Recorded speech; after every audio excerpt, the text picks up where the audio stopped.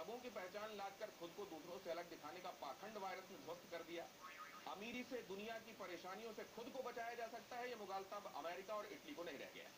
इंसान को ऊपर वाले ने सबसे ताकतवर और अक्लमंद इसलिए बनाया कि वो चाहे जो करे, चाहे जिसका भोग करे, ये ख्याल कितना गलत है, ये पहले एक बंदर ने बताया था और अब एक चमगादड़ ने चेताया।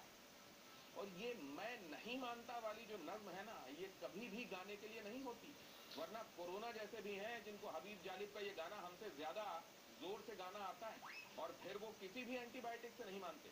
पता ये भी चल गया कि धार्मिक स्थलों के लिए दान और चंदा देने से ज़्यादा ज़रूरी है स्कूल और अस्पताल बनाने के लिए मदद करना, क्योंकि धार्मिक स्थल तो संकट के समय दरवाजे बंद कर लेते हैं। हकीकत यह है कि हमारी एक जात है, एक औकात है कि हम सब आदम के बच्चे हैं, हमारे सुख दुख साझा हैं। इसीलिए हमारे पुरखों ने सर्वे भवंत सुखिना और वसुधैव कुटुंबकम के संस्कारों से जुड़े रहने के लिए कहा वक्त आ गया है कि हम अब ढोंग छोड़ें और सच्चाई से आँख मिला लें। बाकी तो जो है, सो है।